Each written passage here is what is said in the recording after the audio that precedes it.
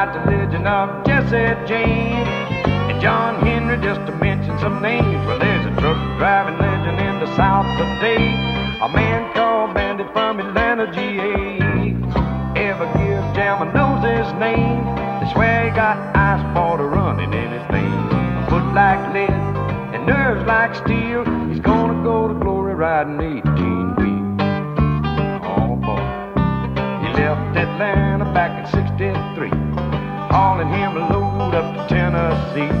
He hit Monteagle in a driving rain, so hard he couldn't even see the passing lane. Well, he started down the grade when he lost a gear. He hit them brakes, found he had no air.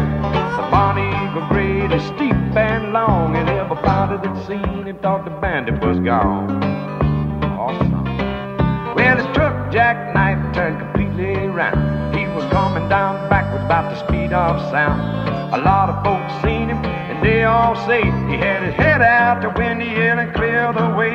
Well, he got to the bottom, safe and sound. Everybody asked Bandit how he made it down. He said, folks, when the truck picked up too much speed, I just ran along beside it and drug my feet. You heard the legend of Jesse James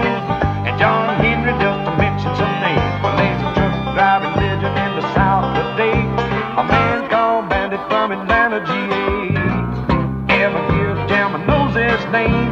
They swear he's got ice water running in his veins. A foot like lead and nerves like steel. He's going up to glory riding 18 wheels. Oh, tell me.